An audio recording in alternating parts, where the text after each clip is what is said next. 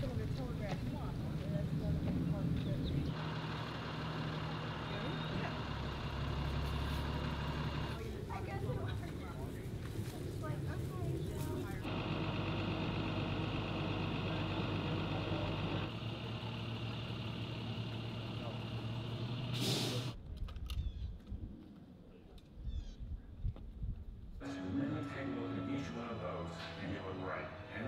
So as I said earlier, today is Earth Day, and it is fitting because our mission has been to prove that preservation and responsible growth can work together. And by early June, our partner at Skanska will begin construction of five buildings in our town square.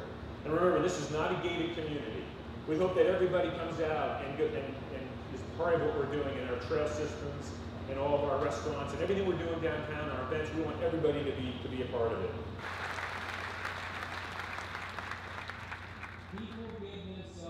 Over 50 miles of trails that will help destinations like tree houses and fishing area and camping areas and picnic areas. And there'll be bike sharing and, and kayaking and canoeing and sailing, just as many things as we can possibly do to get people outdoors and, and, and enjoy.